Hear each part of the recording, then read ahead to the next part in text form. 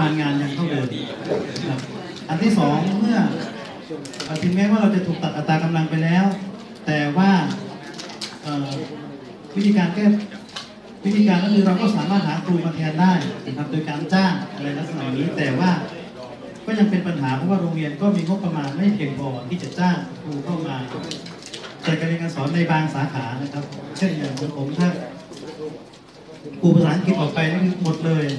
นะครับไม่มีเลยก็ไม่รู้จะสอนภาษาอังกฤษยังไงซึ่งเป็นวิชาหลักด้วยแบบนี้เป็นต้น ถ้าจะหาครูมาแทนก็หาไม่ได้อีกเพราะว่าเงินก็ไม่มีจะจ้างอีกนะครับ อันนี้คือสาเหตุของปัญหานะครับ ส่วนแนวทางแก้ปัญหาของเรื่องนี้นะครับ ข้อที่หนึ่งวันนี้ขณะนี้เราได้ทำหน้าที่เสนอแนวทางแก้ปัญหาก็คือเรื่องของการสะท้อนปัญหานี้ให้กับ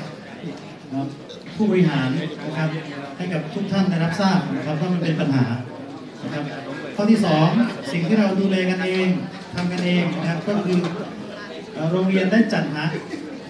ก็จัดเฉลี่ยค่ากันเองในโรงเรียนนั่นก็คือส่งผลให้คุณครูต้องแบกรับ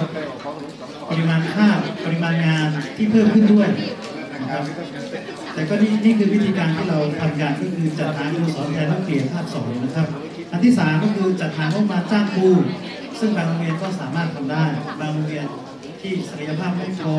นะครับหรือมีข้อจำกัดต่างๆ ก็ทำไม่ได้ และสุดท้ายนะครับสิ่งที่อยากจะฝากก็คือหน่วยงานต้นสังกัดนะครับอยากให้ท่านได้เมตตาโรงเรียนขนาดเล็ก ในแง่ของการถ้ามีครูออก ก็หาครูเข้าแทนโดยไม่ต้องตัดนะครับ โดยไม่ต้องตัดคือให้คงคงมีอัตราของบุคลากรในโรงเรียนตามที่เป็นอยู่ ณปัจจุบันนะครับหรือไม่ก็คือไม่ตัดอีกนะครับ คือถ้าออกก็หามาทดแทน